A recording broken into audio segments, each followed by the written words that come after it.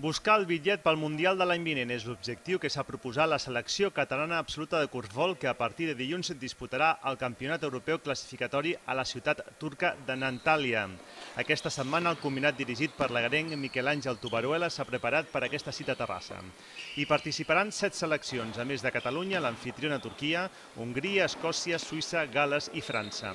Només les dues primeres aconseguiran el passaport pel Campionat del Món de Xina Taipei.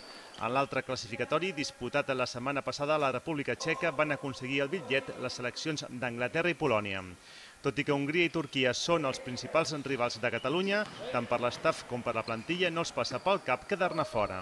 Seria un fracàs, vull dir, Catalunya ha d'estar al Mundial. Vull dir, Catalunya no pot, vull dir, amb el rànquing que té, amb els, amb els campionats que ha realitzat i tot plegat, doncs ha de continuar, vull dir, és el punta de llança del Corbal aquí, és la selecció, és el que promociona més el Corbal i nosaltres hem d'il·lusionar a, a la gent que juga aquest esport amb, amb, amb un bon equip que pot competir amb les nostres mancances i la nostra manca de recursos, doncs bueno, amb la bona feina que es fa, amb el coneixement que tenim d'aquest esport ja acumulat, esperem agafar el bitllet que és l'objectiu per anar al Mundial i poder preparar-lo amb, amb garanties el combinat català està format per 14 jugadors i jugadores. Molts dels nois ja estan consagrats en els seus respectius clubs i algun d'ells, com el terrassenc José Álvarez, ha viscut l'experiència de jugar als Països Baixos, al bressol del Curfol Mundial.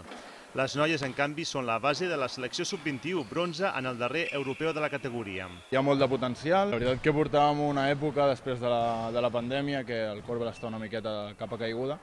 I la veritat que ens hem trobat un grup de gent veterana, i gent molt jove i jo crec que aquesta combinació, juntament amb la il·lusió, la força, el treball i l'esforç, ens poden donar el resultat de classificar-nos per al Mundial.